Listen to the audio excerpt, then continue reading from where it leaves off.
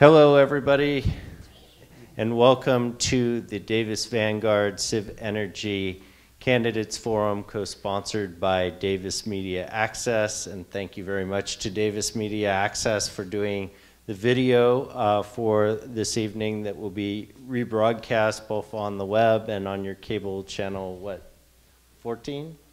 15. Um, my name is David Greenwald. I am the executive director of the Davis Vanguard, and I will be moderating uh, this forum. I am going to briefly lay out um, how this is all going to um, play out. Uh, so each candidate, uh, starting uh, with Lucas, uh, will have a two-minute introduction, and then we will go down the line. Um, each, uh, each candidate will, uh, has submitted three questions. They get to pick one of those questions uh, to ask uh, their colleagues. And uh, the, the first person to the left is the person that will answer the question first, and then it goes down the line. And the person who asked the question gets to answer their own question at the end. Um, and then just to make it more fun, each candidate will have two one minute challenges and a 30 second challenge. So if uh, somebody says something that you want to dispute or uh, have uh, additional uh, commentary on, you get one minute uh, twice to do that and um, a 30 second quick one. Uh, so keeping the time will be my lovely wife and daughter uh, who are sitting in the front, and they have little uh, cards that they will hold up. So when it uh, you have one minute to go, Cecilia will hold up the one minute, and when it's 30 seconds, she'll hold up the 30 seconds. So please be mindful that we have two hours to do this. I've calculated it out. We're really tight on time, so please stop uh, when your time is up. Uh, if you continue talking, I will start talking over you until you stop talking. Um, so not trying to be rude, but uh, in order to get all of this in. Uh, so uh, there will be five uh, questions from the candidates total to each other, and then the Vanguard has two additional questions at the end. Unfortunately, the audience will not get to answer questions, but we wanted to make sure that everybody, or ask questions, wanted to make sure that uh, the candidates had a full two minutes to respond, and with five candidates, you can see how quickly that time adds up. Um, so at this point, uh, without any further ado, uh, we will start with uh, Lucas. Uh, thanks very much, David. Um, thanks everyone for being here today. Uh, my name is Lucas Frerichs. Uh, I'm an incumbent on the Davis City Council, have served for the past four years. Um, thanks to the Vanguard as well as Civenergy, and then of course Davis Media Access for being here to help tape this and share it with the wider community. Um, so 2016 is a milestone year for Stacy and I. Um, it marks 20 years of us being here in the community. I moved to Davis in 1996 for my senior year of high school, uh, finished up my senior year, and then decided to stay in this community and have uh, been really quite involved for the most part ever since. Um, since 2012, uh, I've been on the city council um, for the past four years now, and we've been a council I think that's been pretty focused on getting work done, getting things done in the past four years. Um, there have been quite a few things that have been accomplished, but yet, frankly, there is a lot more to do. Uh, and so that's why I've decided to seek reelection to the City Council. Um, in the past four years, I think one of our top goals has been to get the city's fiscal house in order. Um, we governed the city while it shrank its employee workforce by 103 employees uh, or positions. We restructured city employee contracts, cut programs, and adjusted our budgets accordingly um, our actions assured, ensured that the city uh, remained financially solvent. But of course, there is a lot more work to do in this regard in the next couple of years. We've had some major accomplishments over the past uh, four years. We've approved and built the $225 million surface water project uh, with Woodland and UC Davis, uh, which will be complete by this summer. Um, $90 million total upgrade of the uh, city's 45-year-old wastewater treatment plant. We're investing millions of dollars into the roads infrastructure that is sorely needed, and we have a lot more to do. Uh, and then we've also been working on fostering high quality economic development, particularly with regard to the DMG Mori factory, uh, as well as the Davis Roots Incubator. Um, this, serving on the city council is a big job. I really enjoy it. I've been hard at work, I think, over these past four years and want to continue that work in the years ahead. Um, I think we need to continue our investments in infrastructure, of course, roads, bike paths, et cetera. And then also, you're welcome, thanks. Appreciate your support. Brett? Oh, yep, sorry. Thanks.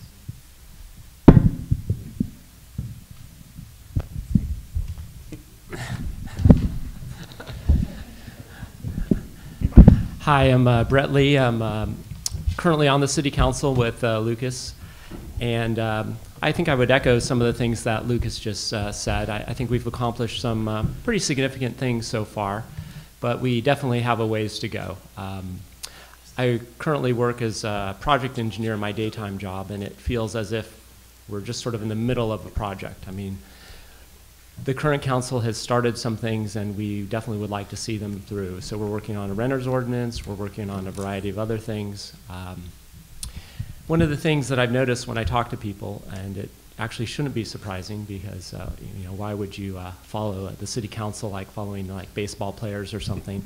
But a lot of people don't really know my background because I haven't been involved in city politics that much until relatively recently. My grandparents moved to Davis in the 1940s, and my mom went to Davis High, and she was a UC Davis grad. And so I have a long connection with the community. And when I was a kid, um, the boundaries of Davis on the north were Covell, and on the right, uh, on the east, uh, Pole Line, and on the west, 113.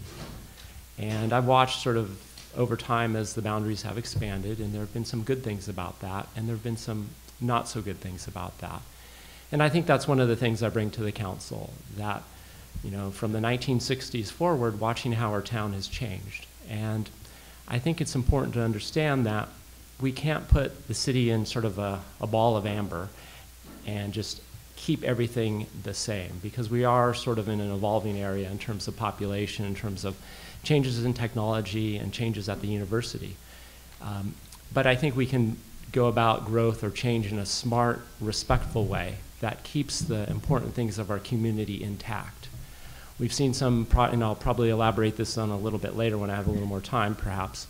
But we've seen some developments that I think have really gone in the opposite direction, that haven't sort of kept uh, Thank the you. quality of life in Davis. Will? Uh, Thank you, David. Thank you to the Vanguard uh, and uh, Civenergy for putting this on. Of course, thank you to DMA for all the work that you do, uh, including today. Uh, My name is Will Arnold. Uh, I am uh, a Davis resident since birth, was born in uh, at Woodland Memorial Hospital and came home to a house on Marina Circle. Uh, Have, have been involved in the community since I was a kid at Davis High School. Went to North Davis, where my seven-year-old now goes.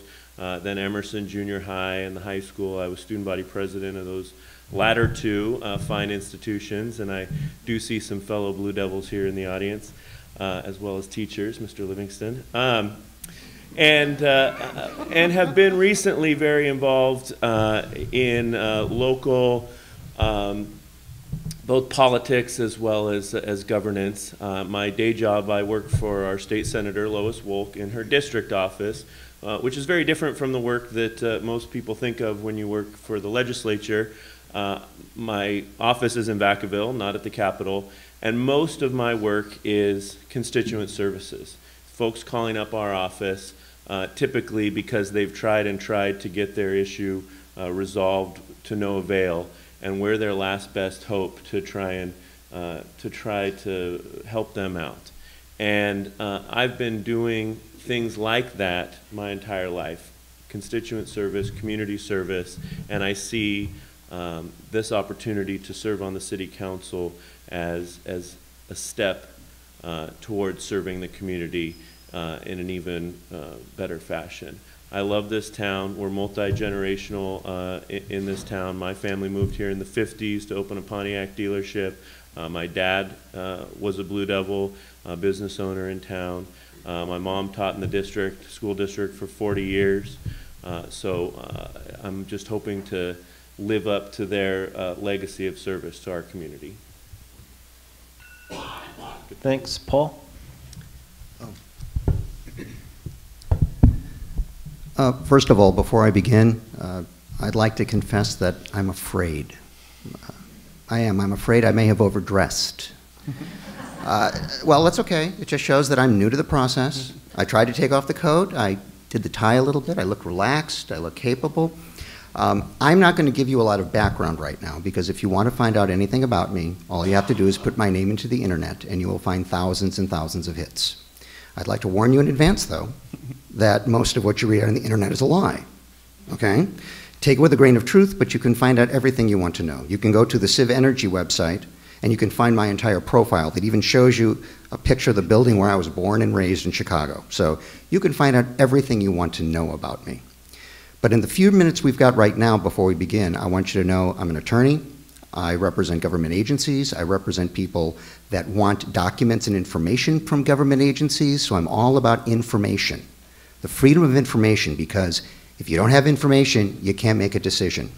You have to decide amongst us here who's most capable of getting the business of Davis done. Now, incumbents say they can do it, of course.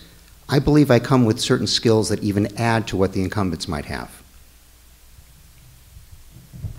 Okay, Matt? Who is Matt? I'm passionate about both Davis's present and its future. My campaign is not about political office.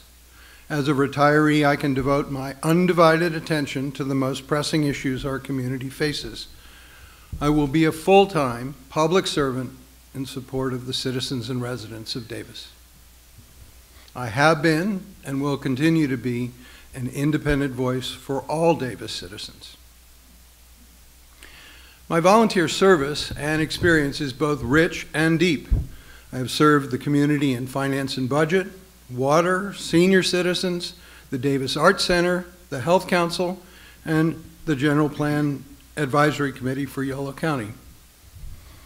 People describe me as independent and a listener, open-minded, inclusive, and fair, analytical, thorough, diligent, and knowledgeable. I will not kick the can down the road.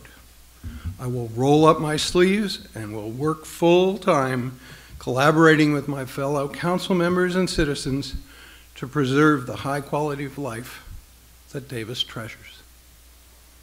I look forward to earning your vote and serving you well. Thank you, Matt.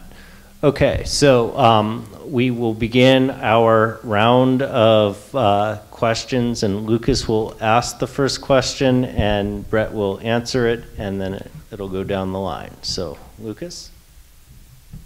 What questions are we asking? The questions that uh, you submitted? Okay, You didn't tell us that that was what. Apologies for that. We, I guess the uh, format of the, uh, of the debate was not necessarily fully uh, communicated to us. Okay, let's see, and um, at least I didn't understand the, the the direction. So, so I'm not supposed to ask my first question? Uh, Yeah, uh, pick whichever one you want to ask. Uh, You only, you're only going to have time to ask one question. So just so the audience understands, so it doesn't sort of, we were asked to submit three questions to David uh, earlier in the week, and so I, I can understand why there might be some confusion, as opposed to, we were asked to submit them to David, so if we were asked to submit them to David, then why are we having to come up with them now? Yeah, sorry about that, sorry. Uh, So, um, uh, uh, the first question then that I would ask uh, is, based on the information you have today, at today, let's see, based on the information you have on hand today, do you support or oppose the Mace Ranch Innovation Center proposal? And what justification would you, would you make to, would you use to make this decision? And how much time do we have for these? Two minutes. So so based on the information I have today, I would be voting no on the Mace uh, Innovation Center. Um, I can say that I felt the similar way about the Nishi proposal up until probably about two weeks or so before the council was going to vote on the proposal, and that was because the developer did something which um, surprised me. Basically, he committed to not having anyone occupy the Nishi site until the Caltrans Richards Interchange project was complete, and also the university had completed the alternate, the secondary access point to the Nishi parcel. Uh, so that's locked into the Measure JR language. So that changed my thinking because I was very concerned about the Richards Olive uh, traffic impacts. As far as Mace, as, as it stands now, it's sort of this generalized 200 acre proposal, which is a little bit murky. The details are not there. The estimate of the revenue to the city is about $2 million a year, which is rather small when you compare the fact that uh, a two acre hotel can generate about $500,000 of revenue to the city per year. So we're talking about two acres versus 200 acres. We're talking about uh, a proposal that has a 10 to 20 year build out. And if you think about 10 to 20 years, that's a very long time frame. And the thing about this proposal is there are a lot of variables and there's a lot of uncertainty. So at this point, until I see some uh, details nailed down, I have very serious concerns about the traffic impacts and actually whether it's really a high-tech business park or whether it's just a plain old industrial park. So if the vote were today, I would be voting no, but uh, we still have yet to see a very specific proposal before us. Thank you. Will. So Brett alluded to it. Uh, there's still a lot of information uh, that we're going to gain about this proposal. So we don't have complete information now, but uh, but Lucas was um, uh, mindful of that when he asked the question, which is based on the information that you have now. Would you support it? And uh, I would have to say that I'm very uh, intrigued, borderline excited about this proposal. we need to diversify our uh, our economic ecosystem. Uh, if, our, if an ecosystem lacks diversity, it fails to thrive. And right now, our uh, revenue uh, ecosystem is completely not diverse where it comes in town. And that's not necessarily a good thing if you ask folks in Detroit or West Virginia how having one single entity uh, essentially control the economy of your, of your area, your town, how that works out for you. So, uh, you know, we have, I think, um, certainly there's still a lot to learn, but the, there's a potential here for uh, 10 million in, in one-time revenue to the city and up to 6 million per year for the city in revenue. And this is the type of revenue we're not getting right now. And this is allowing us not to have to go back to the taxpayers every time uh, we need something uh, for our community. And if, in my opinion, uh, this doesn't pass, uh, we're going to have to turn around to our community and ask for a parcel tax with three zeros at the end of it. So that's part of the choice we have to make when we're looking at uh, whether to support this project. Thank you. Paul? I have to begin by saying that I can't answer this question. Let me explain why. Any public official has to answer four questions when making a decision at all that affects the public benefit or spends the public money. The first is, are you involved? Are you affected by it? If the answer is yes, they have to recuse themselves. It's a conflict of interest. I define conflict of interest very broadly. If anyone gives me money on something like that, I believe there's a conflict and I would have to excuse myself. I'm not sure at this point. I have taken no donations, I have solicited none or endorsements. I'm not going to. Secondly, who's going to help? Who is the proposal going to help? Third, who's going to hurt? And last, how much does it cost? And frankly, right now, I agree with Brett, we don't know enough at this point. There simply isn't enough in the process right now. And all, in all fairness, I can't tell you. But more importantly, as a public official, you'll learn more. And that's what I'm hoping to be able to do. Thanks. Matt? Most of today's problems are yesterday's solutions if we made a decision about Mace Ranch Innovation Center, but for the reasons that Brett and Paul have said, we would be potentially solving something immediately, but creating problems down the road. We do not know enough. I'm a member of the Finance and Budget Commission. The Finance and Budget Commission has received no information about number four of Paul's cost. We don't know. We can project, we can talk about it in prose, but there need to be hard numbers in order to make a judgment. In the absence of full information, you can't, I can't say yes. So to answer Lucas's question, I would say, no, I would vote against Mace Ranch Innovation Center.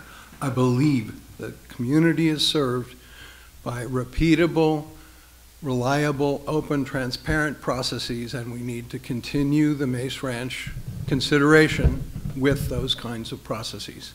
The Open Space and Habitat Commission said that they absolutely oppose Mace Ranch. That's part of our community. It was an open and transparent process. We need the rest of the community to weigh in. Thank you. Thank you. Okay, now Lucas, you answer your own question. Sure.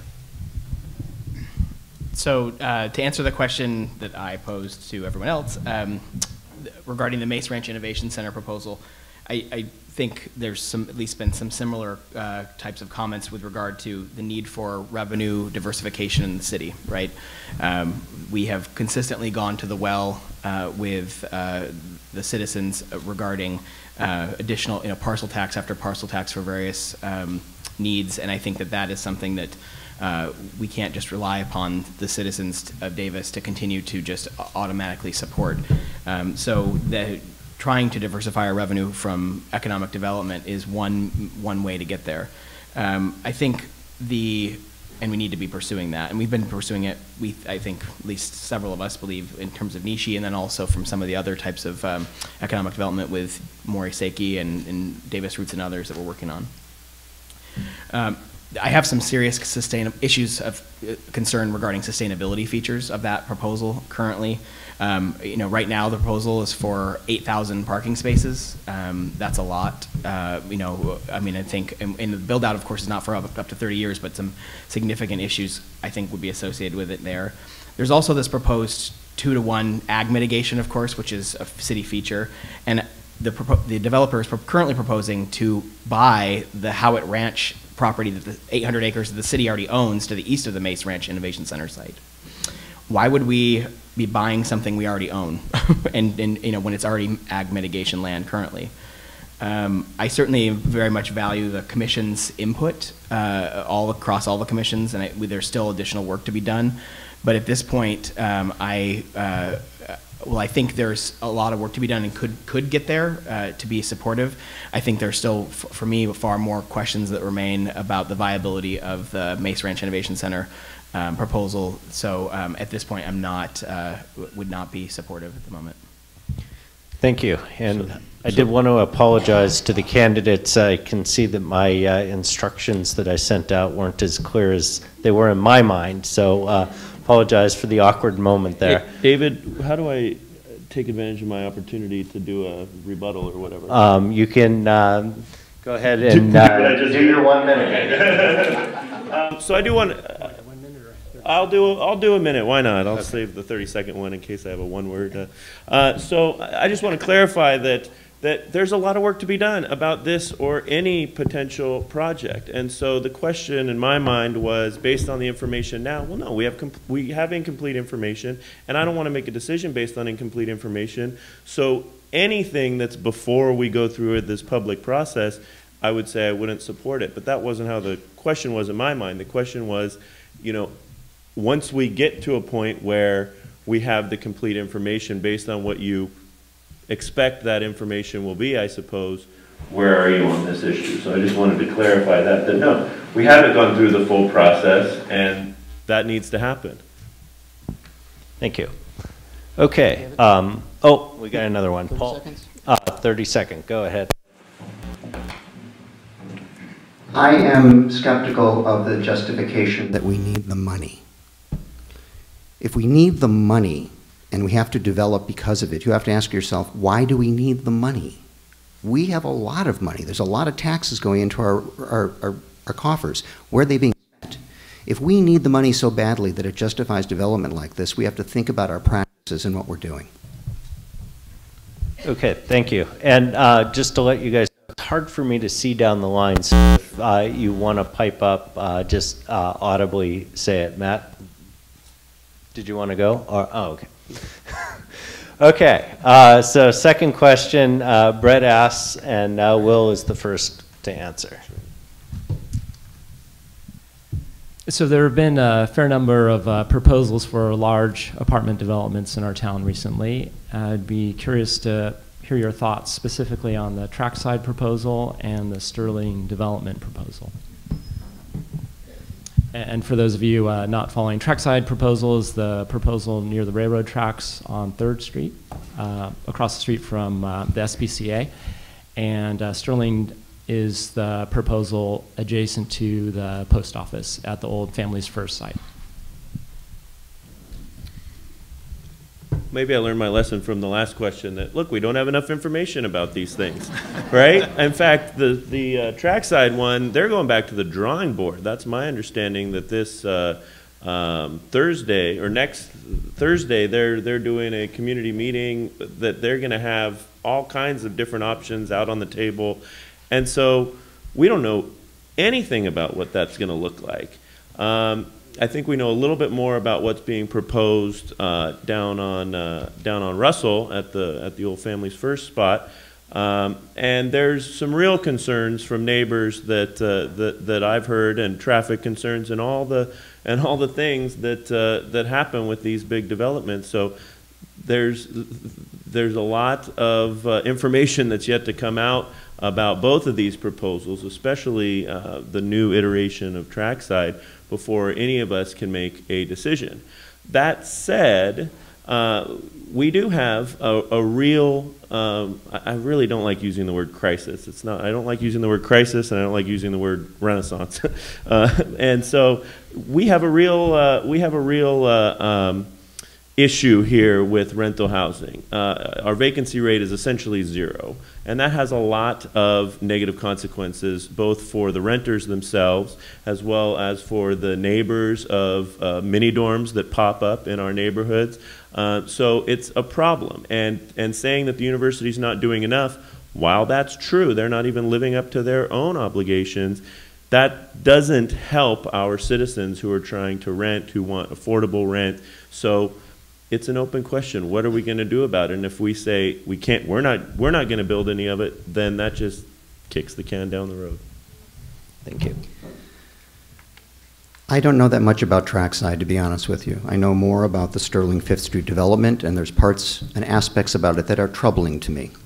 When I went to law school 30 years ago here in Davis, uh, a lot of my classmates lived in Rancho Yolo. Uh, that's the only place they could afford, and frankly, it's one of the best places in Davis to go to if you're a student, et cetera, that kind of thing. I'm very concerned about the Fifth Street development because I am worried about the ultimate impact on Rancho Yolo. I'm worried that ultimately there may be an opportunity or a desire to get rid of it and build new housing there. I can understand it because that might be considered a better use of the property, but I don't see it that way. I would also be very concerned about traffic impacts that I haven't been satisfied on. I use Fifth Street every day, and it's busy, and it's dangerous for bikes, bicyclists. What's going to happen if you put a whole bunch of apartments there? But lastly, and most importantly, is the word affordability. Even as somebody who didn't pay attention a lot to politics and was just fat and happy in Davis, I did notice that oftentimes they'd say they'd be affordable, and suddenly we find out it's $2,000 a month. And nobody but, but wealthy foreign students can afford to stay there. That doesn't sit well, well with me. I like foreign students very much, but if you're going to say they're going to be affordable, make them affordable.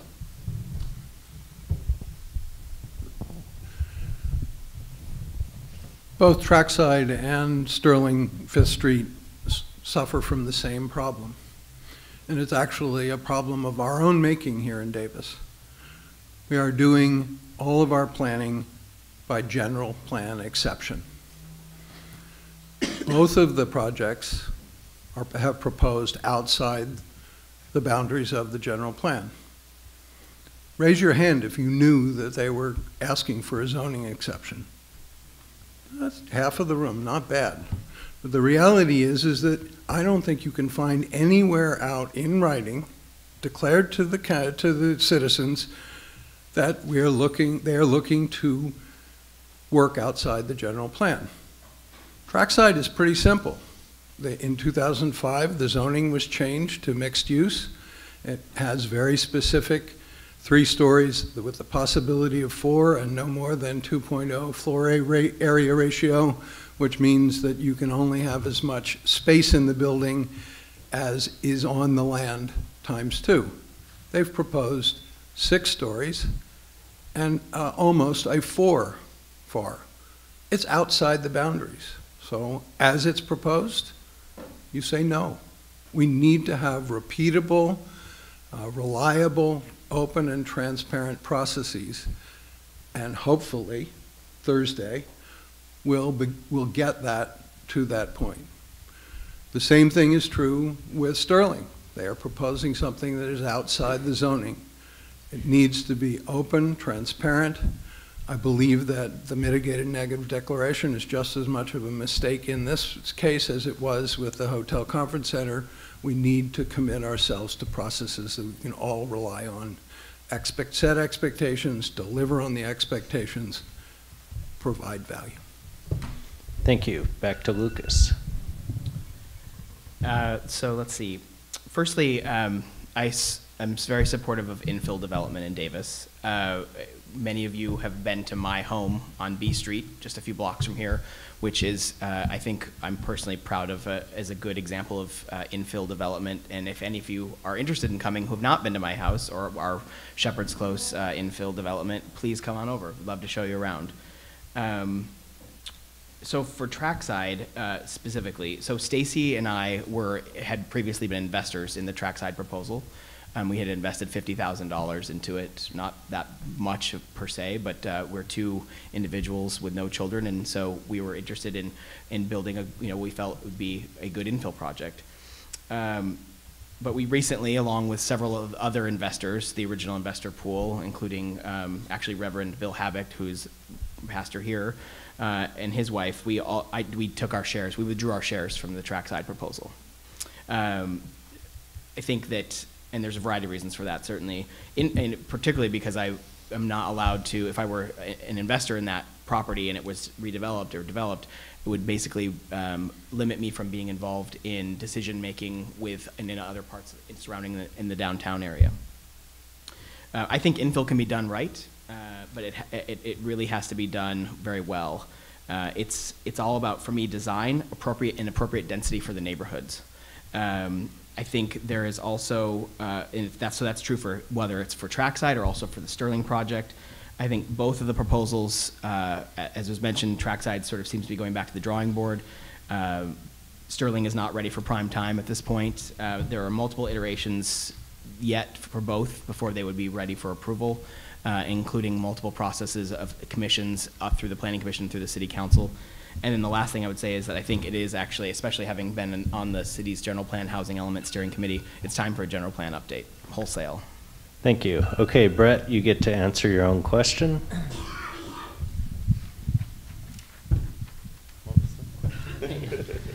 So um, yeah, I'll be, be brief. Uh, two minutes is, goes by a little quicker than I had imagined.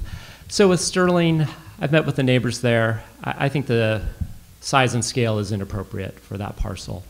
It's a privately owned parcel.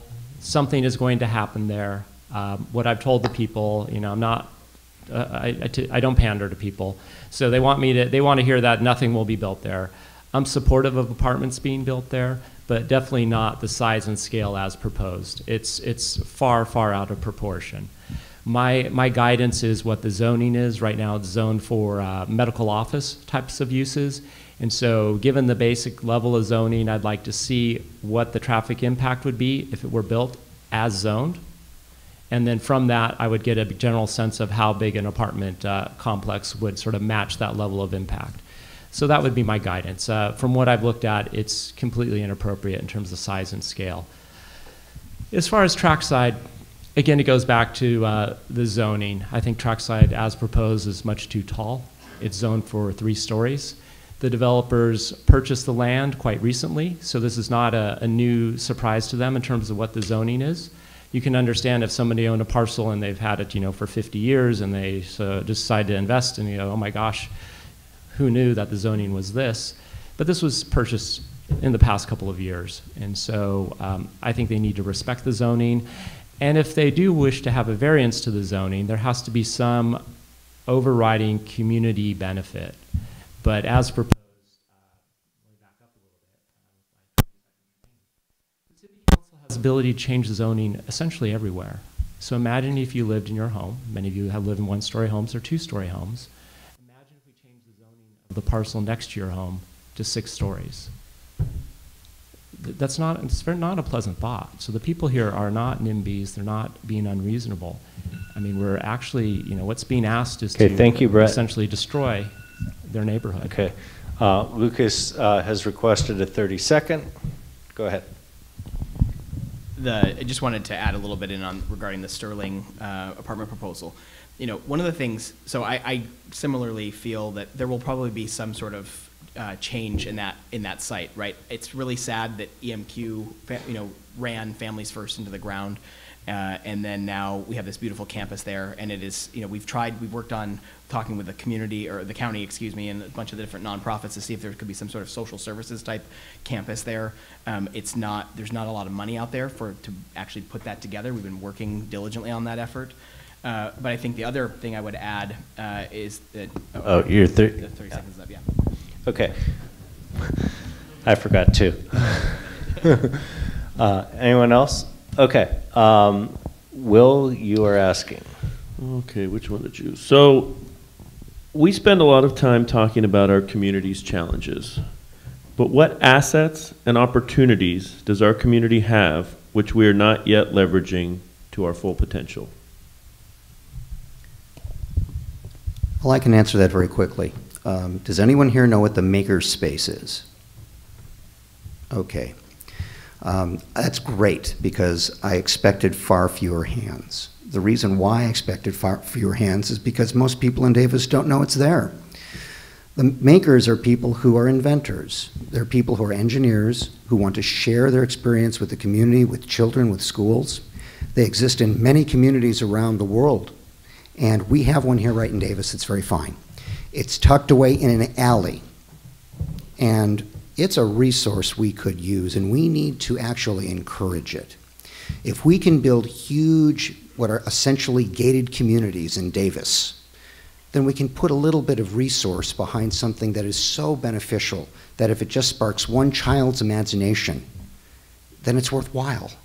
If we can get just one kid who might be out there and see something they think is cool, and it makes them want to invent, we've done our job as a city, as a society, as a community. Okay, Matt?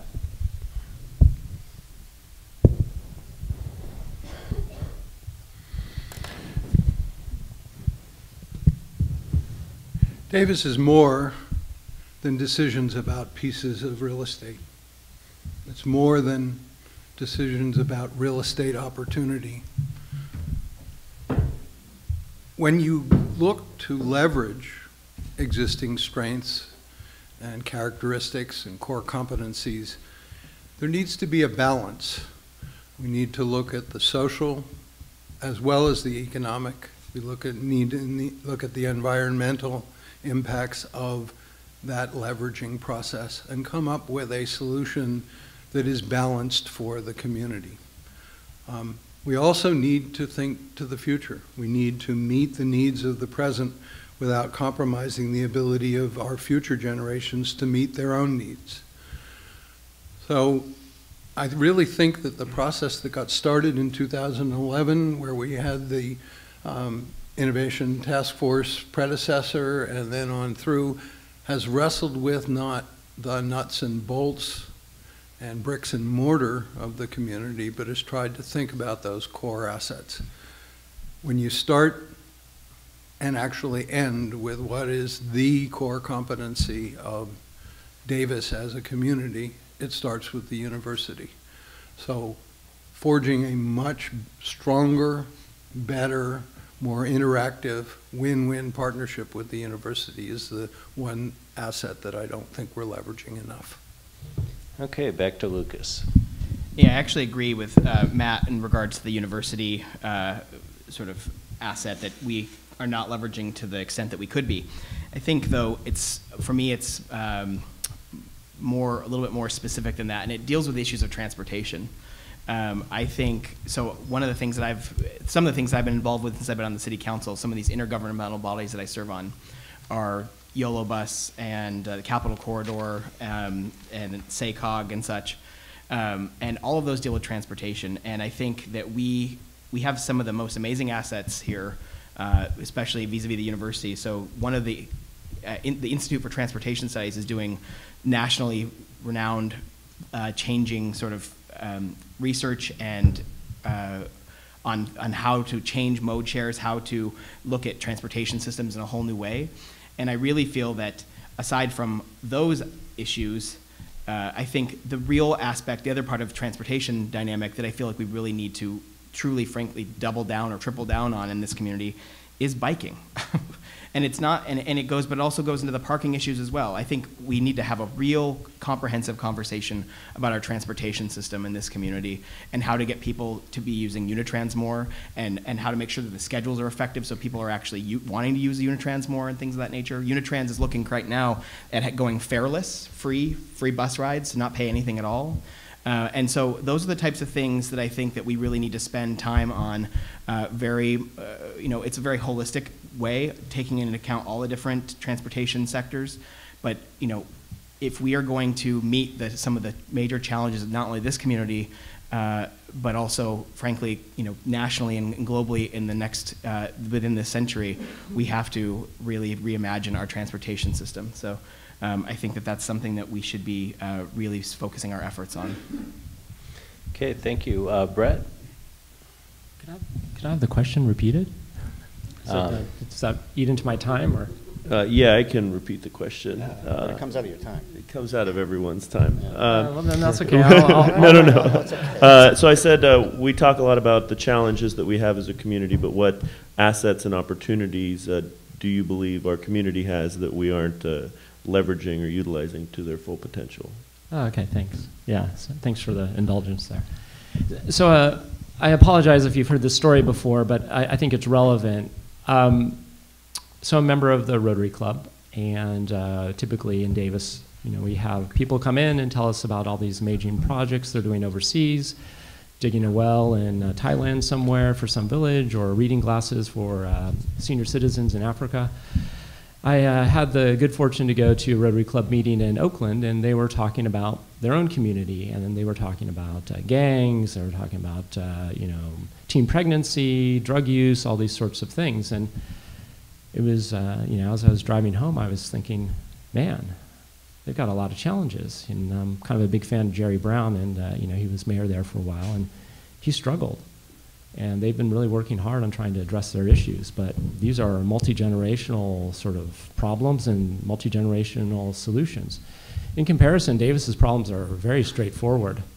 I won't say they're necessarily easy, but they're straightforward. We talk about this need for economic development. Basically, we're in our city budget, we're about four to five million dollars short of taking care of our infrastructure needs. That's a $75 parcel tax. Everybody pay an extra $75, problem solved.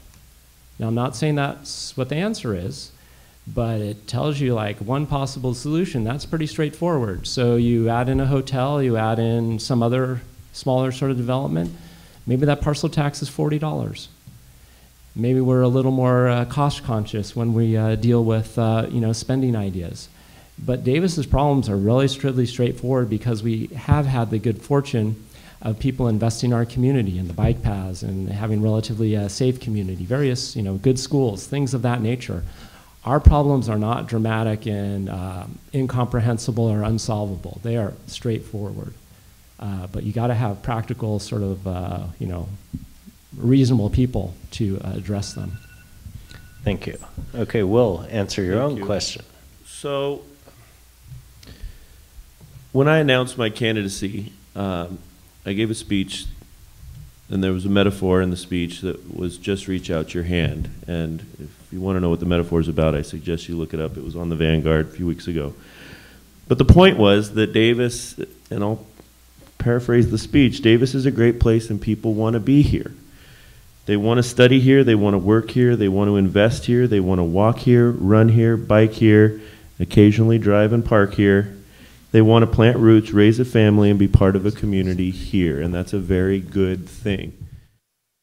And we typically talk about people as being a problem for our community.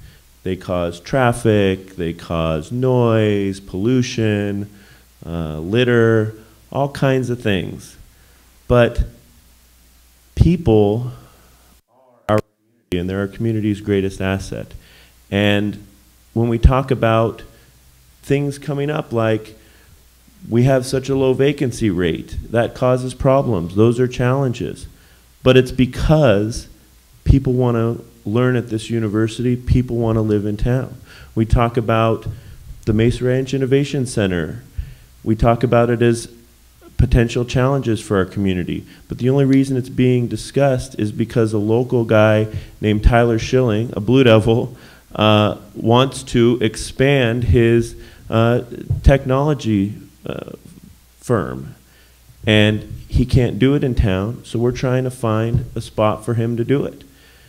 People want to invest in this community, and I think that gets lost in the conversation. And it, if, if nothing else comes from my candidacy, it's to create uh, aspirational awareness that, uh, that with our challenges also come opportunities. Okay, thank you. Um, Any uh, challenges? Yeah, Matt? I'd like to use a minute. Okay.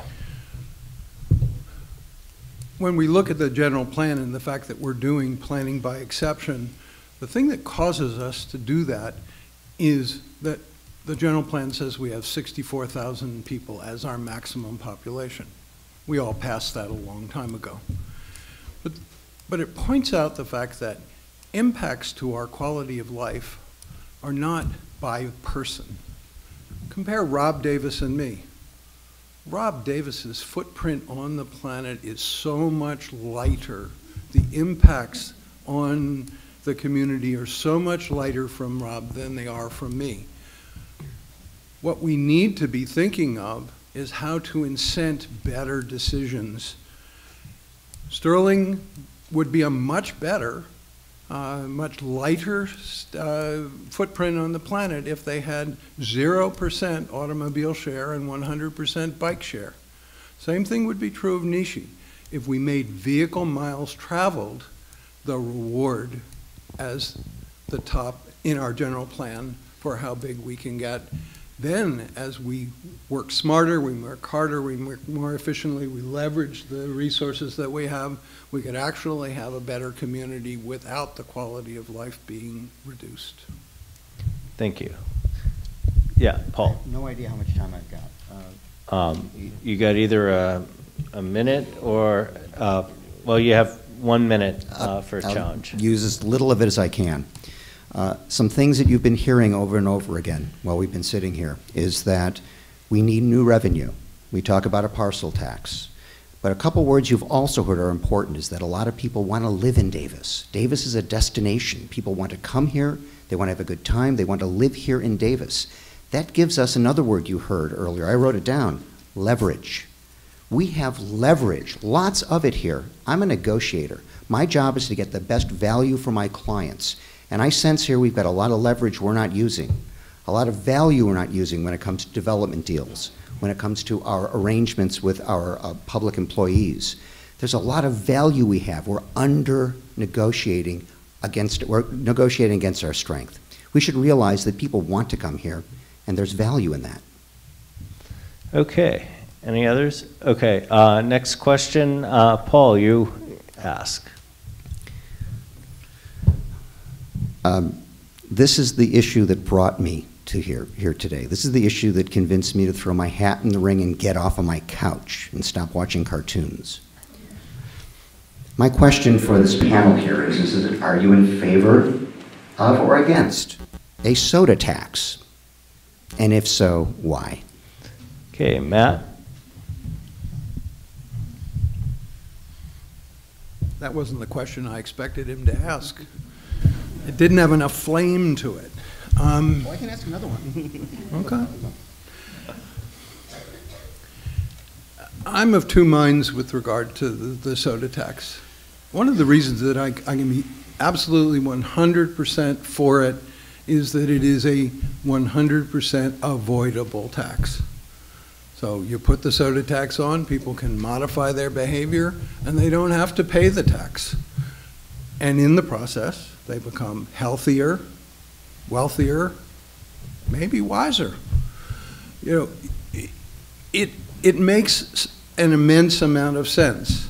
My problem with the soda tax is, is that it, it sprung like Athena, fully armed from the head of Zeus. Um, it, it, Matt, into the mic, please. it hasn't, it, it, hasn't had the community dialogue so that we can build consensus around it. I think that the public health issues, as I said, I was on the Yolo County Health Council. I worked for 30 years in healthcare. There is no question that sugary beverages are deleterious to our health. Um, I think that it would be nice if we could voluntarily modify our behavior to, to not consume these things that are bad for us, but we're human beings.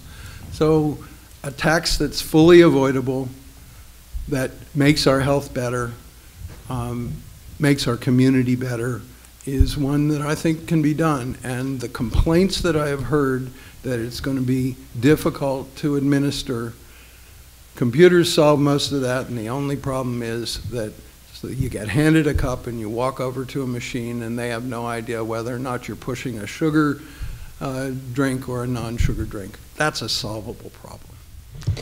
Okay, just a reminder, everybody should be about two to four inches away from the mic in order for um, the, to pick up. Okay, uh, Lucas?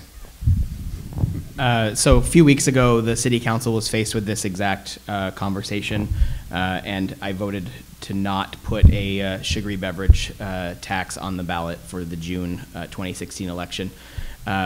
The reasoning at the time is the same as the reasoning today, which is that I feel like uh, we did not, there was not really any kind of real community discussion over this issue.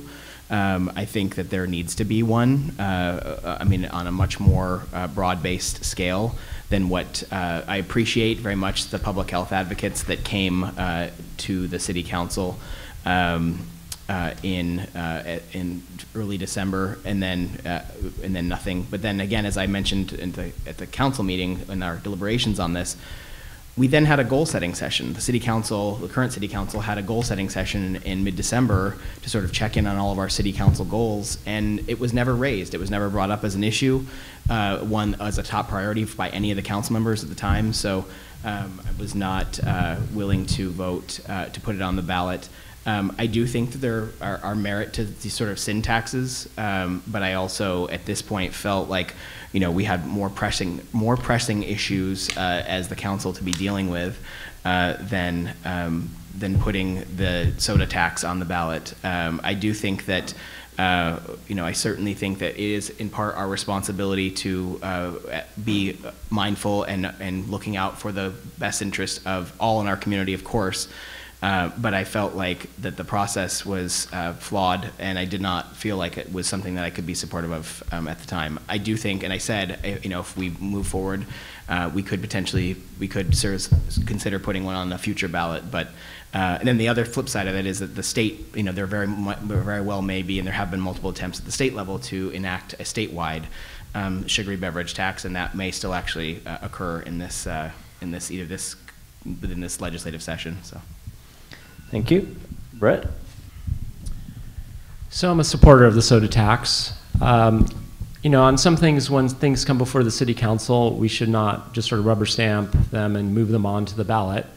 I think on the soda tax, I would think that our voters would be able to make an informed decision as to what they think is best. If they think uh, soda tax is good, then let them decide. If they think it's bad, let them decide.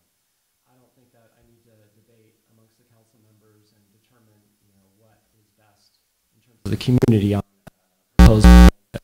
It's inherently relatively subjective. The reason I was willing to put it on the ballot is I think it's a twofer. Uh, if you remember what I answered before about us being short about $6 million, soda tax brings in a couple million dollars a year. It makes finding the additional money for the roads and uh, bike paths a, a little bit easier. Uh, there was this idea like, oh, we're going to be encouraging people to drink soda so we get more tax money. And then the flip side is, oh, we're sort of the nanny state, we're taxing you so that you're not going to be able to buy soda. You know, when you go to a restaurant, and you pay $2 for a soda. The fact that it's going to cost $2.15 it's not a big deal, right? And anybody tells you it's a big deal is misrepresenting what was proposed.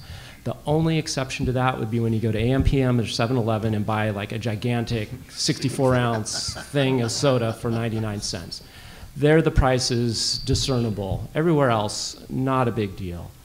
Uh, so, really, for me, on a subjective thing like this, I'm quite happy to let the people of Davis decide.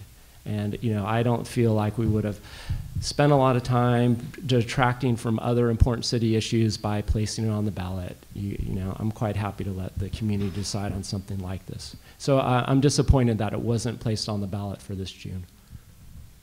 Okay, Will. Uh, so, like Brett, I was inclined to let the the community uh, have the say in this. Um, this is one of those issues where um, there's real heat on both sides and very little uh, light. There was a lot of passion on both sides, and I found it very hard to get passionate about this issue. Was it going to end childhood obesity in Davis? No. Was it going to put our restaurants out of business? I don't think so. In fact, the arguments against it, um, I kind of called them Schrodinger's tax because it would both not be enough to to make any discernible change, but it was so much that it was going to cripple our economy. Obviously, it's not both of those things.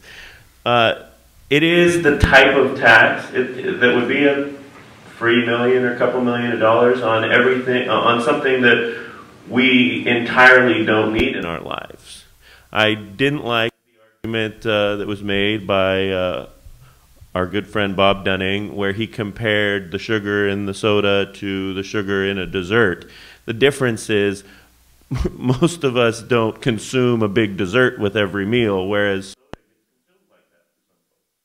so to me, it didn't seem like a, a stretch to want to throw a dime at our city coffers every time I wanted to have a Coke. That didn't seem like a big deal to me, but uh, but there was a lot of passion over this issue. So um, I suppose in conclusion, I was happy to have the voters decide on that. It was one of those issues that um, still had some details worked out about how it would be implemented, how the money would be spent, etc. Um, so obviously uh, hesitant to come down in favor of that. I've learned my lesson, but uh, but uh, yeah, I was I was happy to have the voters decide. Thanks. And Paul. Before I begin, I'd like to say that reasons I love to live in Davis, I love being here and why I settled here, is because just in something like this, you'll hear somebody mention Schrodinger's cat. Uh, that's wonderful, frankly. I haven't heard that term used publicly ever, and this man has my vote.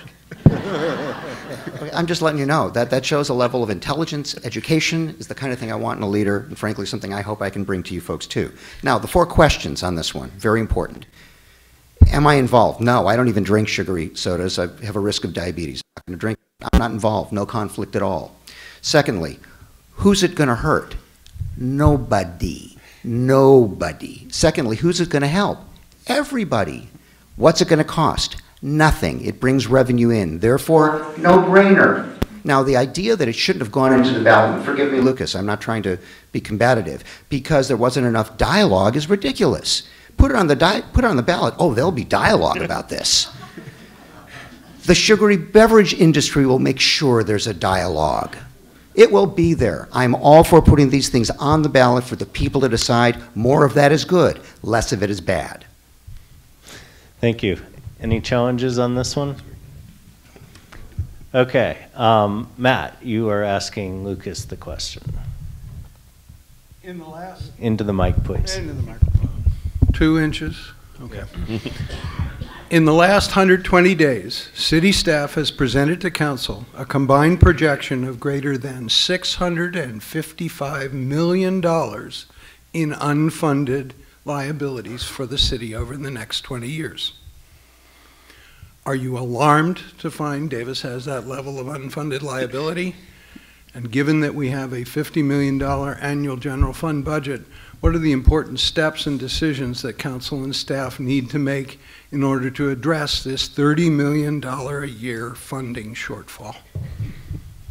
So this is a this is a number that has been you know, and actually it's not unique to uh, to just the city of Davis. I mean, it, th- that specific figure may be unique to Davis, but uh, it's a it's an issue that every level of government is facing, um, from cities such as Davis, but all the way up through the to the state and county, state, and federal government.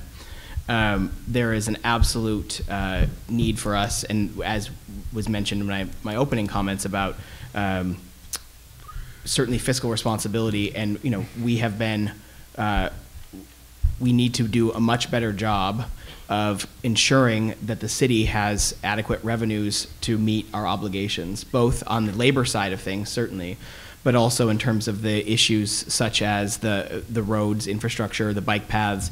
Um, I think that there is a real ability for us to, uh, and we've been starting this already, this process, but going in uh, and particularly during this coming budget cycle and in, and future budget cycles, for us to have a real, uh, frank dialogue, not just with um, each other, of course, but also with the community about how we actually go about prioritizing and, and funding some of these unmet needs. Um, we have, uh, we're at a situation right now where we have uh, not at all adequately funded uh, for these priorities. And I think you know that we are going to have a few choices ahead of us. One certainly is this issue of are we going to continue to go to the city citizens for parcel taxes, which is probably not an, uh, a real ultimate positive solution. But then there's also going to be uh, situations where we are looking for certainly I think additional cuts are going to need to be made in terms of uh, uh, some of the and but uh, and some of the city programs that we offer, and we've done a lot of that already over the past several years. But I think we're going to continue. Uh, there's no real good answers. I mean, in terms of the, where we find that amount of money. Thanks. Okay, Brett. So, so when you hear a figure like 600 million, it's rather daunting. But the way that's calculated, that's bringing everything forward in terms of, you know, the current today unfunded liability. But that's amortized over time. And um, so I'm not trying to minimize it, but put it in perspective. It's like buying a home, right? You don't, when you buy a home and, uh, you know, let's just say you buy a $500,000 house. $500,000 is a lot of money, but it's broken out over 30 years. And so you pay a little bit at a time and eventually you get there. The city did something pretty important uh, on the council that Lucas and I were on. We actually imposed terms on a couple labor groups because we felt that their demands were not acceptable. And so we've been slowly turning the ship. And we have, over the past few years, been paying more and more and more into um, a fund, set aside fund for retiree pensions. So we anticipated that the CalPERS uh, uh, rate of return was um, optimistic, and we had our own act, independent actuary come in and tell us what percent contribution we should be making on behalf of each employee to make sure that we are able to catch up. And we are essentially current in terms of what we need to be paying to make sure that we head off sort of this day of reckoning where this huge lump sum is due. And so it's, it's a slight bending of the curve, but we're definitely headed in the right direction. I'm not here to say everything is rosy and wonderful. Absolutely not. We, uh, like Lucas mentioned, we're the same as pretty much every municipality in the state of California and um, actually the state itself. But we, we've turned the ship, and the independent actuary has had us setting aside uh, greater and greater proportions of our budget towards this. So I'm confident that if we stay the course, we will be okay. But having said that, uh, it is a challenge. And so we are not on easy street by any means, but it, it is a manageable situation because of some of the decisions we've made Thank you. recently. So question one was, does that alarm you? I would suggest that uh, you would have to say that, uh, yeah, that's a big number and it's alarming. Um, but uh, I think recent uh, councils are to be commended for the work that they've done, uh, that Brett described, uh, to move us toward um, staying above water with regard to these long-term uh, unfunded liabilities. Um, I think there's no, there certainly is, it's not just my opinion, there is no silver bullet that is going to, uh, to put us over the top here. uh, it's going to take an all hands on deck approach, and that uh, includes revenue measures, taxes. That includes, in my opinion, uh, diversifying our revenue uh, portfolio. Uh, and of course, that includes the city uh, being uh, a fair but tough negotiator with our uh, with our employee groups. Um, you know, the let's just take the parks tax for example. It was passed by 90% or something in uh, in 2012, Measure D, and uh, it expires in a few years. It, it's 50 bucks, 49 dollars a year, but it only gets us a quarter of the way to to spending our uh, or, or to paying for our parks, and uh, I, I feel like folks have an expectation in town that there's going to be certain levels of service and amenities, but we have to have a recognition that they're going to be paid for somehow. And I'll leave with one um, anecdote that was shared with me, which was um, uh, I'm hearing this third hand, but a member of the tree commission said, "Look, we have so much trouble." Taking care of our existing stock of trees. They have the uh, mistletoe and other problems, uh, and yet we keep planting more trees.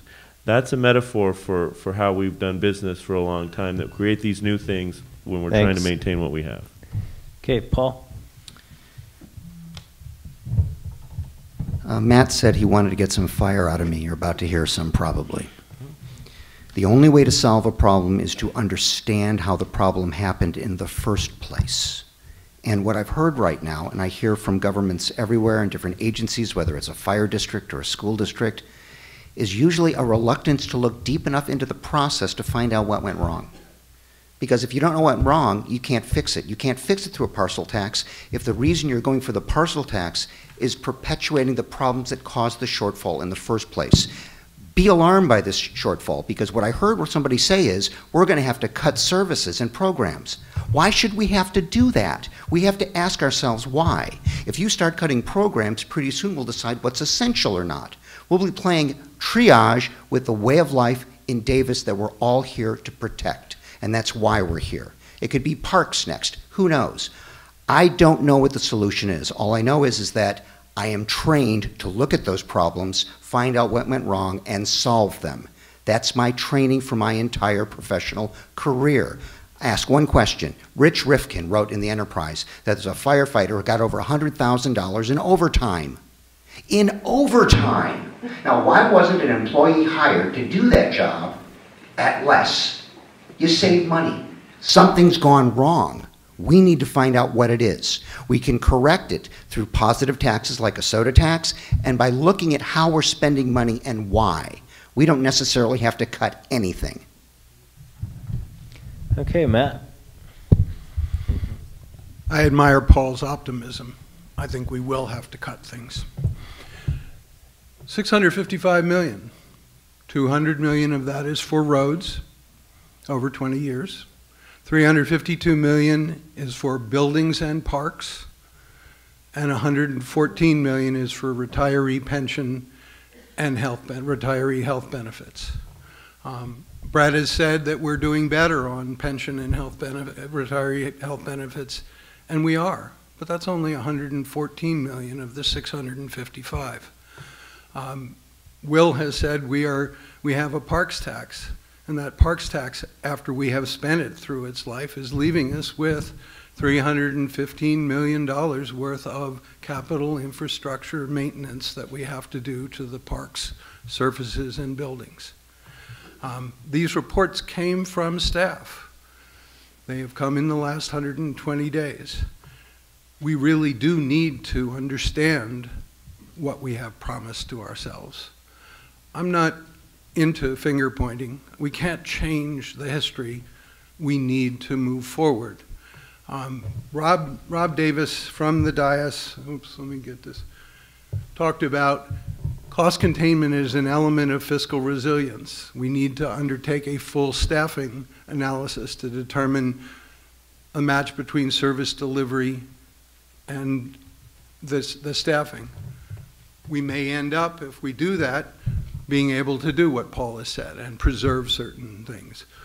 We commissioned John uh, Meyer to do a staffing analysis. He did it, he showed us where we were, were deficient, and we've done nothing about it since.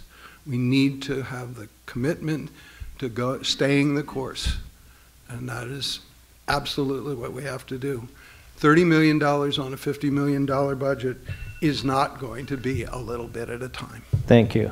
Okay, Lucas um, has a minute response, and, okay. Yeah, yeah, I would just say a couple things. Uh, you know, firstly, so to Matt's most recent point about the staffing analysis that was done by John Meyer pro bono for free for us. Um, you know, that is something that just was done a few months ago. Um, the reason we haven't acted upon it yet is because it was just completed. I mean, uh, within the past few months, um, we have been uh, very involved in making sure that our commissions, particularly most recently the Finance and Budget Commission, has been taking a top to bottom look at and opening the books to and we to everybody, but to, they have been certainly making sure that uh, we are on the right course uh, in helping providing uh, additional sort of guidance and uh, input to the city council as we move forward on some of these issues. Uh, you know, I think the I, I agree uh, about the issue. Uh, with uh, regard to that Paul mentioned, you know, about you know why why do we have an you know firefighter getting hundred thousand dollars a year? You know, some of the numbers that you uh, in terms of overtime, some of the numbers that are reported are, are a situation. Oh, okay. Oh. That was, Yeah, all right, I'll that was it. a minute. Okay, that's fine. Um, uh, Will is next, and then I'll go to you. Thanks, Brett. Uh, so um, I just wanted to say, uh, you know, for the record, I'm not sure if this question will come up, but um, that I am in favor uh, and was in favor, hoping it would happen this June, but it didn't, uh, for revenue measures specific to transportation infrastructure. We have our needs. The council is uh, to be commended for putting some money aside to address those needs, but it's it's not enough and uh, I would uh, would support uh, a revenue measure that is specific to transportation infrastructure. The two revenue measures that are on the ballot in June, both of which I support.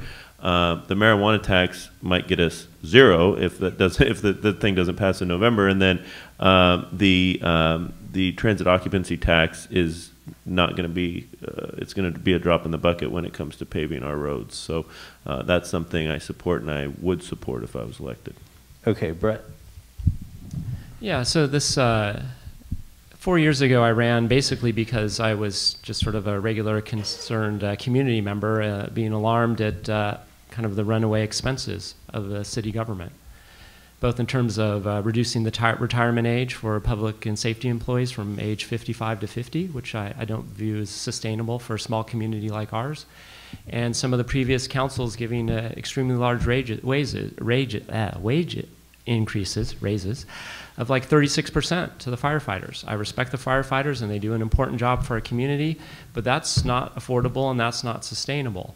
I can say that the current council, I think, has done a very good job in that respect. So if you look at the record of what we've currently done, we've moved away, we've changed direction of the council, and I think we are headed in a sustainable direction. And you've also heard about this idea that I keep mentioning about a four to five million dollar shortfall. That's to address some of the things that Matt is talking about it's important, and unfortunately, in this extremely limited uh, two minutes to answer these large questions. Can I take my extra minute since I have Um, another challenge? Yeah, I guess so. I hadn't So- thought of that, but yeah, sure. That was the That was challenge, one so minute, yeah. he's, uh, So- you're gonna use another So minute, here's the thing. So apparently. we live in the state of California, which has at- retreated on its commit to, commitment to public infrastructure. They used to help pay for our roads. So this is not laid solely at uh, the door of the city of Davis, sort of abdicating its responsibility. The city has been caught up by the state retreating and not funding the roads like they used to, not funding many of the programs they used to. So we're having to pick up a bigger and bigger share of these things. And so while I think the city council, um, especially in previous years, has a lot of responsibility for where we are today.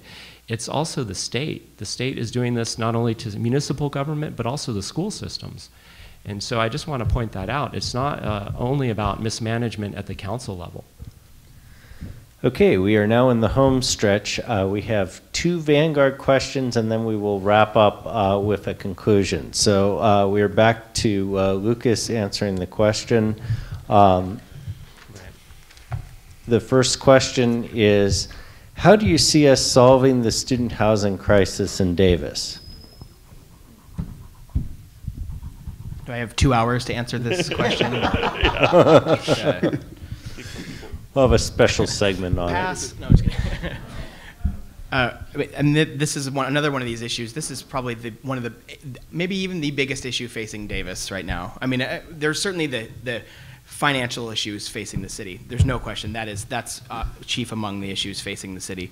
But the issues fa- regarding student housing and the you know sort of the appetite for growth that UC Davis has uh, is, uh, is is issue number one for us. So we certainly need to engage the university in a much more pro- uh, proactive way. That has not been happening. Um, I think that there it needs to, uh, you know, there's been some other uh, issues recently that have come up in the media and in the news that, uh, you know, I think are probably taking the chancellor's time currently, uh, spending spending away from uh, away from dealing with her relationship with the city of Davis, but. I think that we do have a, actually a pretty good relationship with the university currently, and I think we could actually improve upon that quite a bit but we really need to insist that, uh, and frankly, if it means this ultimately through legal means, uh, we need to insist that the city uh, uh take a more proactive stance with the university, but particularly make sure that the university actually puts some of the housing, if they're going to continue to grow, put some of that housing on campus. Um, I have, it's, it's unbelievable that all of, I mean, we've seen this issue in the neighborhoods, especially at budding campus. They, you know, the, I, am not, I'm not at all opposed to students. I think it's a, I mean, we, one of the reasons why this is a very good town to live in is because of the quality, uh, quality of life, because it's a college town and university town. But I think that we need to actually have a a major, major, not just one conversation, but ongoing and bolster the relationship with the university regarding their approach to growth. We cannot just have them putting all that growth upon the city of Davis. It's causing all these associated issues, including the Sterling, you know, apartment issue and others. Uh, the vacancy rates at close to zero percent. We and it's impacting the quality of life in our community. We absolutely need to be engaged with the university. Thank you, Brett. So, so I would agree with what Lucas has said, especially with uh, working with the university. They are a sovereign entity, but I think we can work with them so that they uh, fulfill more of their uh, commitment to uh, apartments for students. I think also we built some additional apartments in the city. We have several proposals before us. Most of the problems I have with them are size and scale, so they can be scaled down. Uh, there haven't been any uh, large apartment complexes built in quite some time. I think also in terms of our downtown, we get kind of a twofer on this uh, by having some more mixed use downtown, so residential above uh, retail or commercial. I think that helps support our local shops. I mean, um, I'll just throw out there Alphabet Moon, right? There was a disappointment that uh, we lost that shop. If we have more people living downtown, they would tend to support those shops and hopefully independent shops. You know, I don't want Davis to become sort of a cookie cutter downtown in terms of just sort of national chains. And so I think it's important that we find a way to support the shops downtown, and one of the ways is additional residential uh, uh, on second or third floors above the shops. I think that's probably, you know, that will help a bit. And then we also need to have sort of a, a realistic understanding that the students are moving into single family residential neighborhoods. And we need to allow for that and minimize the negative impacts. Um, the current council is working on a renter's ordinance and also working on the mini dorm ordinance. And the goal here is to minimize the negative aspects of groups of students renting single family residential. And um, it's going to take a while for the university to catch up with the current shortfall of units. But I think we can do something so that the existing neighborhoods aren't as dramatically negatively impacted by what's going on currently. Sure. So, I would venture to guess that the most important decision that's ever been made by people uh, that affected the city of Davis was when uh, the UC Regents decided to put the university farm here. Uh, and, and for the most part, in fact, for the vast, vastly most part, it was a great thing for our community. Davis wouldn't be Davis without UCD. Our schools wouldn't be what they are without UCD.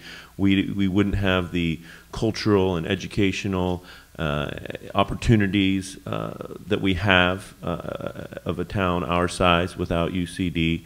But like any college town, and I don't think it's unique to Davis, these relationships get strained. I think they probably deal with this in Ann Arbor, they probably deal with this in Chapel Hill, they certainly dealt with it in Eugene, Oregon, where I went to school.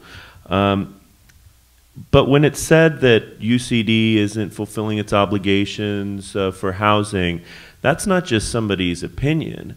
These are agreements that UC Davis made. They agreed uh, with, uh, in an MOU with the city that they would house 25% of their students on campus. They're close to that. They're in the low 20s, but they're not where they agreed to be. And in, in their, uh, I believe it was called Housing or, or something for the 21st Century, uh, for the whole University of California system, they wanted 38% of their housing to be on campus. And of course, they're not even in that ballpark. So it's not just that we're pulling out a concept or some numbers out of thin air when we say the university isn't doing its part to house uh, students. It's their own obligations that they've made that they're not fulfilling. Commissioner, do Two. Two minutes. Okay, first of all, uh, this is enormously complex, as we know, and I don't know a lot about it part of the reason I'm running for city council is because, as I said in the beginning, I'm an information nut. I love information. And I happen to know, because of my work getting information from public agencies, that when you are a part of a governing council or board, you have access to information the public does not. And I want to be able to get the information to look at this problem. But I approach this as I would any problem within my profession. This is a negotiating problem, is what it is. And the first question that comes to my mind as a, a trained and experienced negotiator is why does the university not build more housing? Why are they going out against and going against an interest or an agreement that we have? That doesn't make a lot of sense at first. But what comes to mind immediately to me is because they believe that they don't have to. They know we will. And if no one has to do something, they won't. So I would want to look at this problem and ask myself, what could we do to be able to persuade them that they really ought to build these houses? Once we understand what that is, then that problem will be solved generally in the short term. But right now it hasn't happened. And my big question is, why? The only way to find out is to sit there and find out with city staff giving you the information that can only be given to and received by a city council member.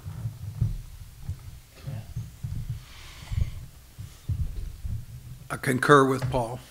What we don't know can hurt us.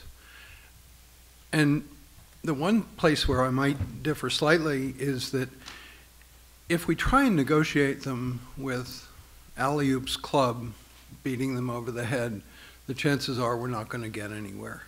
We somehow have to be able to find and define the win-win uh, playing field. Right now, they don't see, I agree with Paul, they don't see any win at all in building housing on the campus. Uh, what we need to do is to somehow reach out to them. I met uh, on Wednesday with Ramona Hernandez, the head of, uh, of student housing, um, and suggested that it would be really, really good for them to be able to see where's the zip code origin of all 36,000 of their students and be able to know that X percent of them are now coming from West Sac and Sacramento and getting off at Richards and trying to go through the tunnel and parking in the B Street uh, neighborhood for free and walking into the campus. The impacts on the quality of life of Davis, UCD only sees it anecdotally. We need to build an information base. They actually have incredible amounts of information. They know where every student is by zip code. So they'll be able to see what the evolution is of the 5,600 additional students they've added in the four, in the past four years. They can look at the distribution of where they live from four years ago and where it is now and understand what the impact is on the, the city.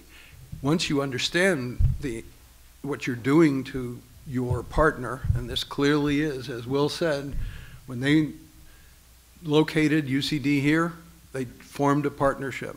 We need to be able to engage the university in a more productive way in order to forge a more positive partnership. Can I take my uh, 30 second? Uh, no? So I just want to add that it's important that we recognize that the students are not the problem, right? I mean, you go away to college, you want to live in your college town. I had the good fortune of being able to walk from where I live to campus, and uh, you know, it's nice for students and faculty to be able to have that. So, the, the students are, you know, the goal here is to have a nice, safe, secure, convenient location for students that they can walk or bike to school and really enjoy that campus life. So, you know, let's not, in sort of our concern about mini dorms and apartment complex proposals, really kind of throw the students under the bus. As Lucas and everyone have said, you know, we need to work with the campus. And I, okay, thank you. I'll use my 30 seconds. Go ahead. Houses are converted into mini dorms because the owner of the house sees an economic benefit to, to making that conversion. He gets six, Julia has two single-family homes on either side where there were families for years. Now she has weeds sprouting up in the, in the front yards, left and right, and seven students to the left and six students to the right. The landlords, the owners of those houses are making money from those rentals. Thank you. Okay, any others? Okay. Uh, so here is the, oh, sorry, Paul. Um, you have one minute, a one minute left. Okay. Uh, there's just one more question. Okay. okay. The last question, and Brett's going to go first on this one. Uh, do you support or oppose extending the joint management of the Davis and UC Davis fire departments?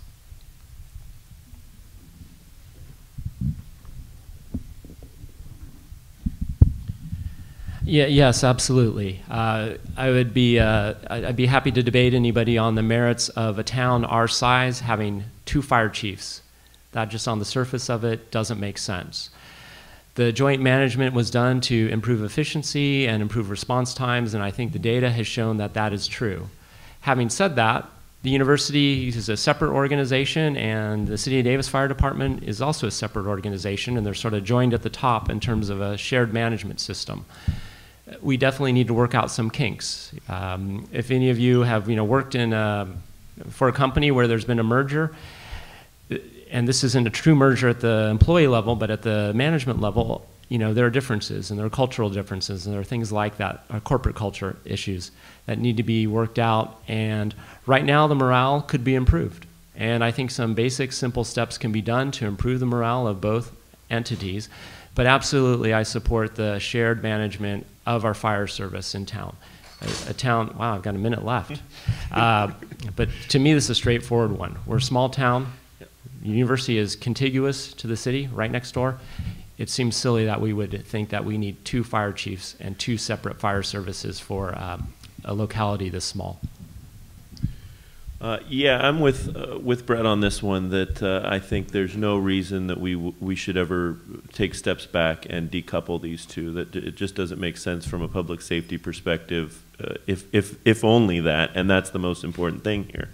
Um, there are uh, you described them as kinks to be worked out, or or corporate culture, or whatever. And for those reasons, I am uh, open to, but maybe even beyond that, uh, would would like to see a full merger um, be discussed, be analyzed, and and see how we can get there. I'd frankly like to see the fire chief be right down the street here in downtown Davis. So so uh, any citizen or city council member who wants to go see the fire chief doesn't have to spend nine bucks for parking and be on be outside of town. Uh, but uh, but no, uh, I, I, I want to work toward a full merger. I understand the challenges that that, that presents to us, uh, but but the alternative to that, in my opinion, is is not going to be decoupling the two. That just doesn't make sense from a public safety perspective.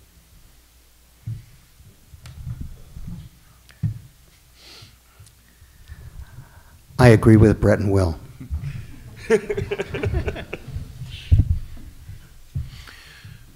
One of the great things about the Vanguard is, is it shares information that isn't otherwise shared. For a number of months, maybe six months, after the, the uh, joint management was agreed to, uh, the chief, um, Nathan Trauernicht, shared with us statistics that showed that it, they were more efficient, more effective. They spent less money. There was less overtime.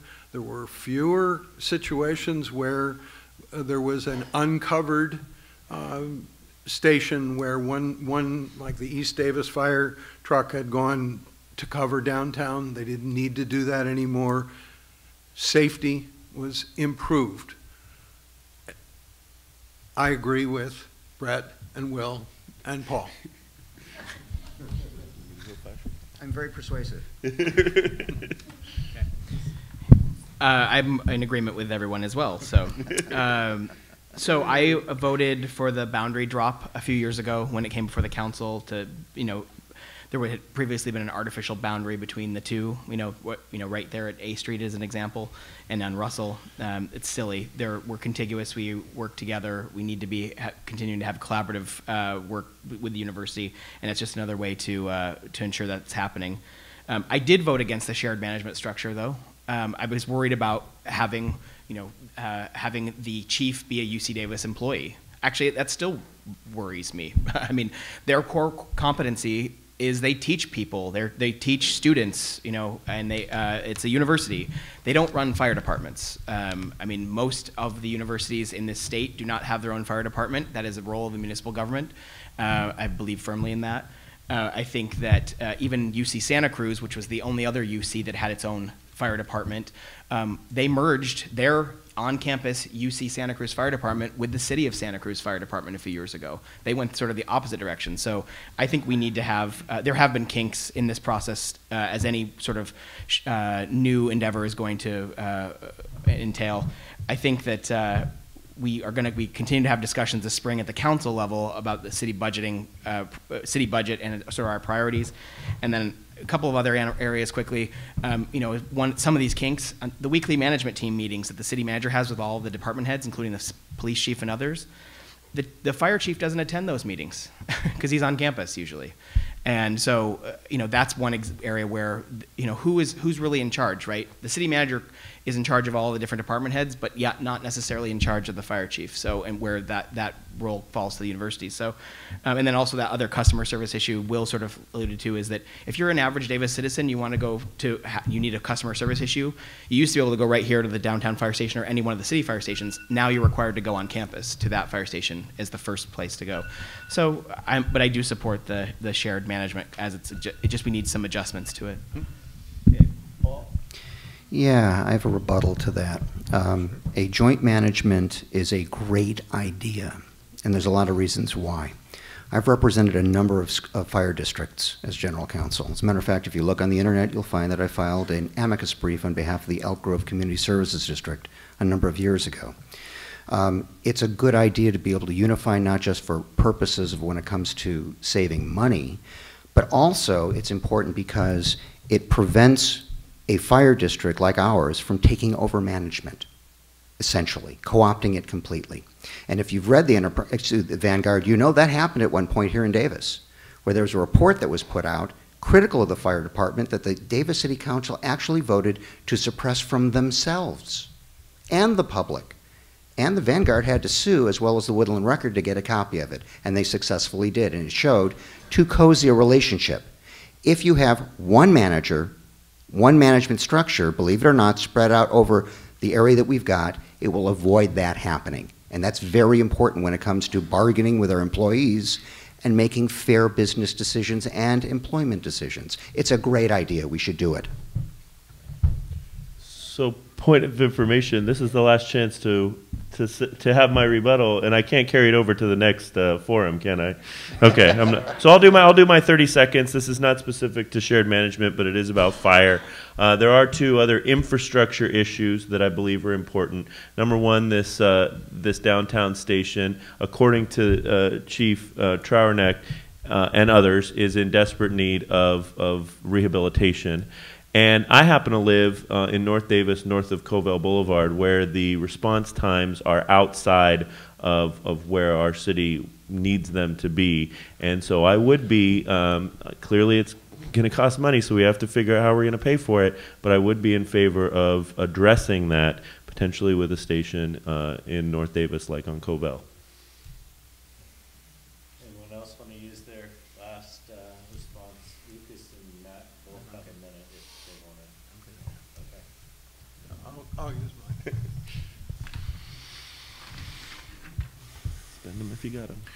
Whenever we're making decisions about the quality of life in the community, and, and Will has brought up that response times in the far north Davis don't meet our standards, ultimately, it does boil down to money. So the question brings me full circle to the fire station downtown is part of that $655 million, but a new fire station is not. What's the difference between nice to haves and need to have? And part of our job in understanding what we need to spend money on going forward is to be able to separate out the need to haves from the nice to haves. Um, I see the, the, the $24 million, or I heard it's up to $31 million sports park as a nice to have. I think we need to focus on the need to have.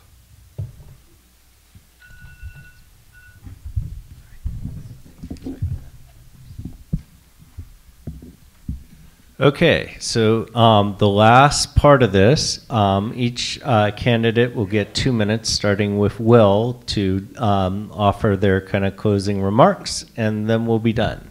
Good.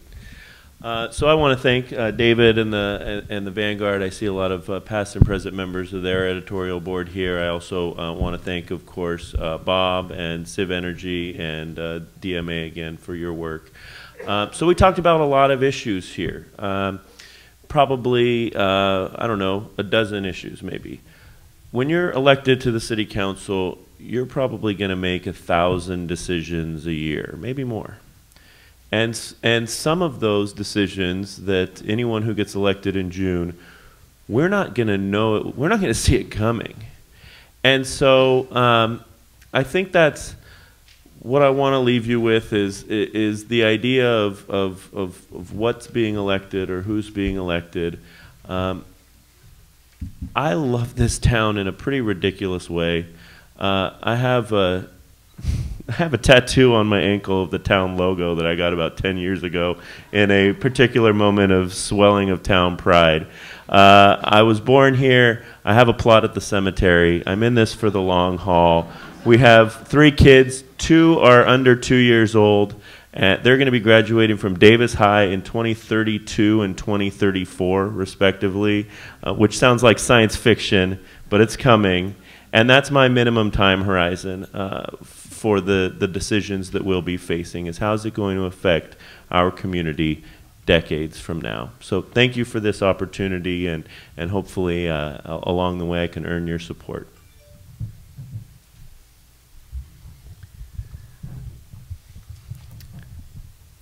My wife tells me that I've made some terrible mistakes. One of them is, is that I'm not going to be soliciting for funds any contributions, and I'm not going to be asking for endorsements.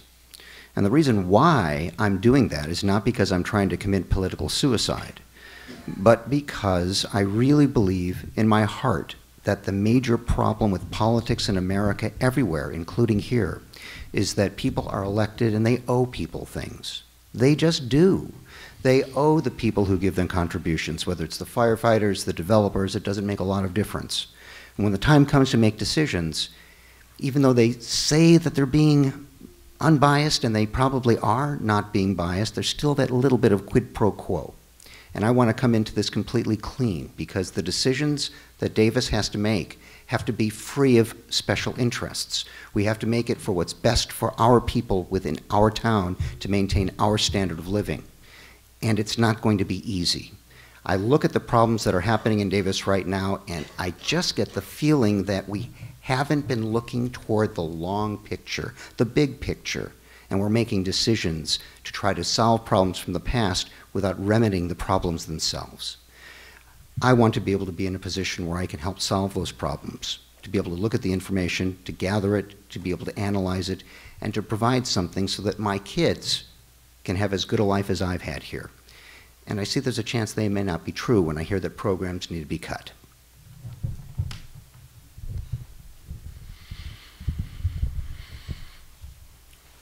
We've talked about a lot of issues today.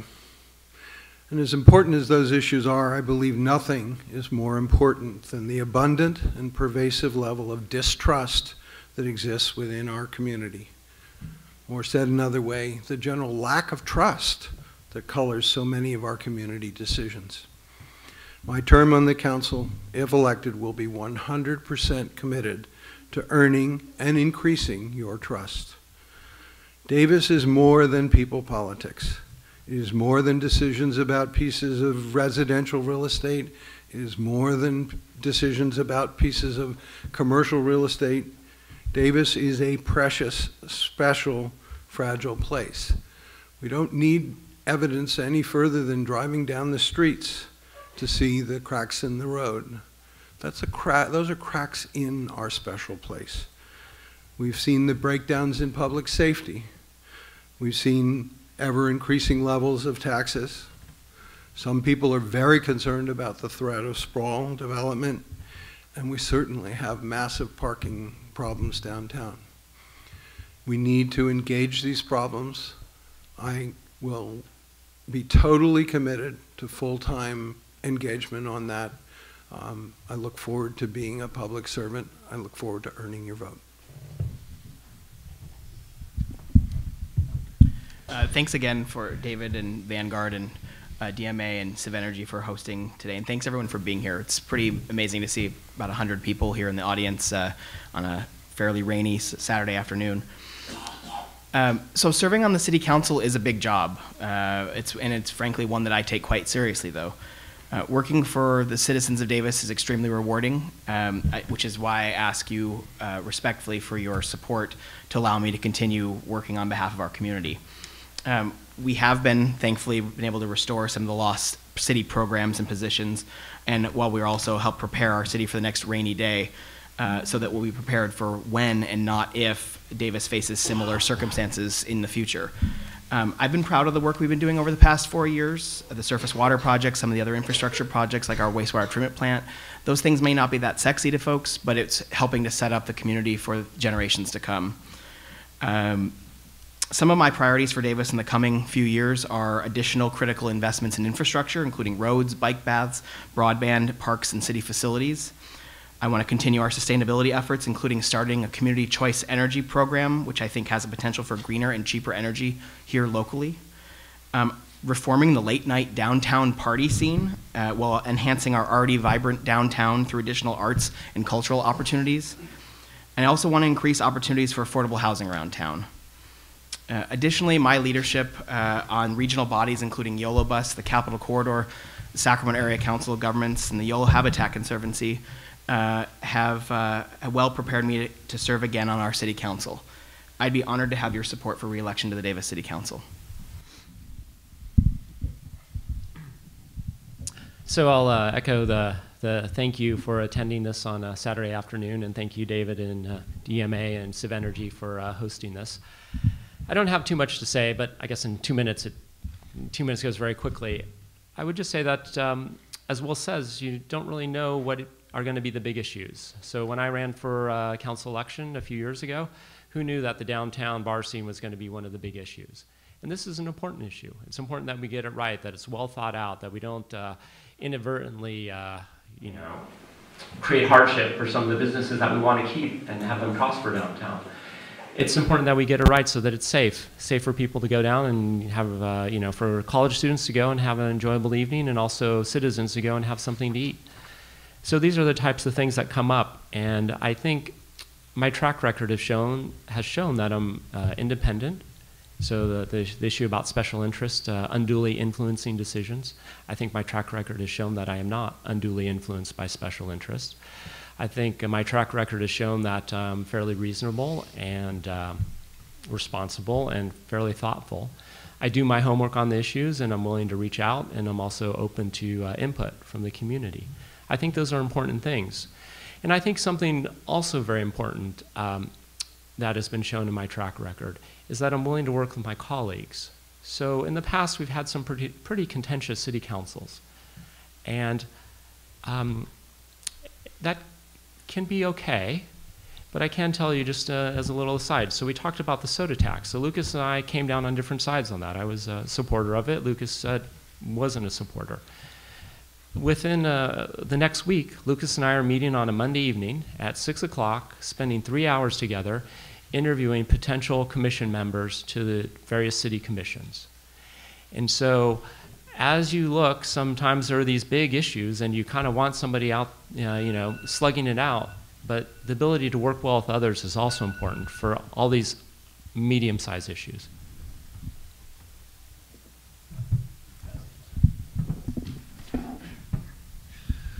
Okay, that is it, right? You went. Well, Yeah. Okay, good. Thank you. Just Making sure. Thank you, everybody, for coming out. And I, I want to again thank uh, Davis Media Access for uh, videoing this, um, and Jeff Shaw spending time. Uh, and, and thank you to all the candidates and uh, members of the public. Have a good evening. And daughter. Thank my daughter. Thank you.